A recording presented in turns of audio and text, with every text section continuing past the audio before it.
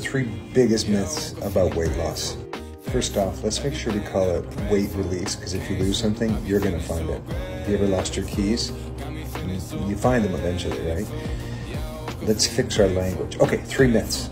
Number one, going to the gym is going to make you lose weight. It won't.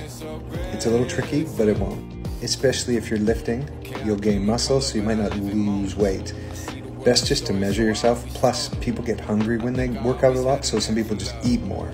You can't outwork a crappy diet.